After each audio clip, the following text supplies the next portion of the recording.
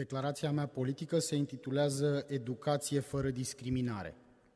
Sunt puține momentele când aflăm sau conștientizăm că încă mai sunt copii în această societate care sunt discriminați. Se întâmplă în școală, la liceu sau în facultate, poate chiar și în grădinițe.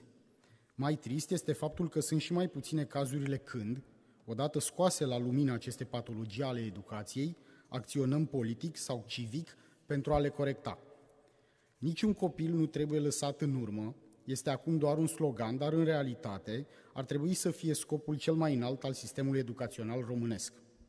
Niciun copil, indiferent de caracteristicile lui sociale, familiale sau personale, nu trebuie să se simtă altfel decât ceilalți. Nu trebuie să fie apăsat de vreo închipuită vină de a fi diferit, indusă, uneori, chiar de către unii dintre profesori.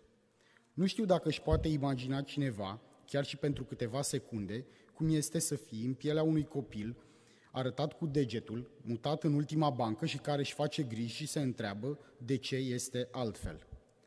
Dar nu de exerciții de imaginație avem nevoie, ci de a îmbunătăți o lege.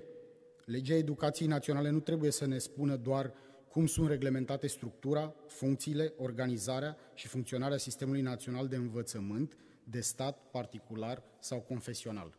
Legea trebuie să fie cea care garantează în toată substanța ei, fără echivoc și fără dubii, un act educațional egal și fără discriminare pentru toți copiii și tinerii acestei societăți.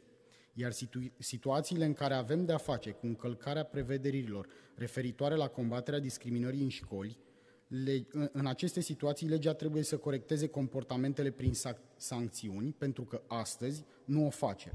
Astfel, pentru întărirea principiului egalității de șanse și pentru combaterea și sancționarea discriminării, voi propune o serie de amendamente la legea educației naționale. Mulțumesc!